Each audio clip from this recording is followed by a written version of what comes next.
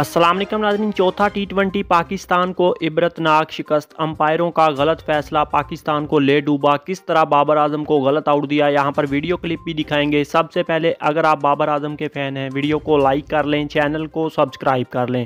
چلتے ہیں main topic کی جانب۔ جیسا کہ آپ لوگ جانتے ہیں، پہلا ٹی ٹوینٹی بارش کی نظر ہوا، دوسرا ٹی ٹوینٹی انگلینڈ نے جیتا، تیسرا ٹی ٹوینٹی بھی بارش کی وجہ سے منسوخ ہوا۔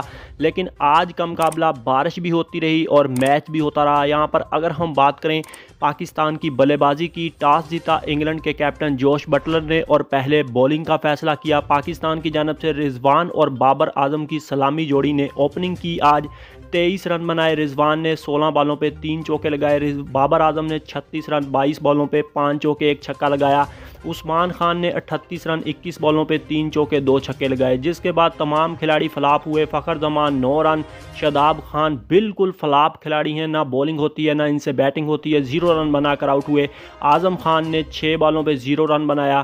افتخار احمد نے تقریباً بیس سے پچیس رن بنائے۔ شہین افریدی زیرو نسیم شاہ زیرو اس طرح تمام کھلاڑی فلاپ ہوئے۔ انگلینڈ نے بآسانی ٹارگٹ چیز کیا۔ بارش ہوتی رہی، جس کی وجہ سے میچ منسوخ ہونا چاہیے تھا، لیکن امپائروں نے میچ مکمل کروایا۔ بابر اعظم جب آؤٹ ہوئے تو صاف لگ رہا تھا کہ ناٹ آؤٹ ہے، لیکن ایل بی ڈبلیو آؤٹ دیا گیا امپائر کال پہ۔ Thanks for watching